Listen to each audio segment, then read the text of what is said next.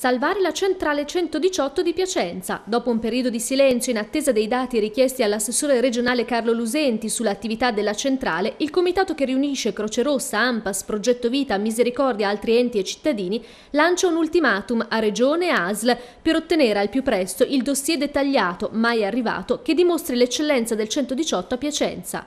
Dossier da spendere nella battaglia contro l'accorpamento del 118 con altre centrali emiliane. Vogliamo difendere un modello di servizio efficiente e valido, ha sottolineato Renato Zurla, presidente della Croce Rossa di Piacenza. Vorremmo provare a ragionare con eh, chi di dovere, a un tavolo senza farne una bandiera, senza farne delle battaglie di nessun altro tipo, se non quella di, eh, di vedere di mantenere una preziosità che abbiamo nel nostro territorio, che è quello del connubio di un matrimonio vero, nel senso che funziona tra il pubblico e il privato, vale a dire in questo caso il volontariato e quindi vorremmo cercare di capire capire attraverso queste cose qual è il futuro e qual è, voglio dire, come possiamo dire la nostra rispetto a questo tema.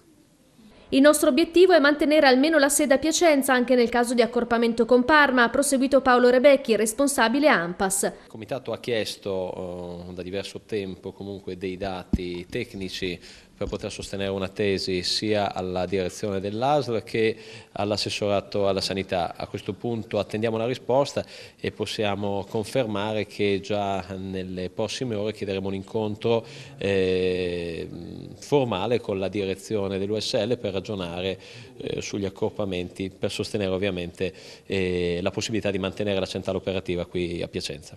La partita per salvare il 118 dunque è ancora tutta da giocare.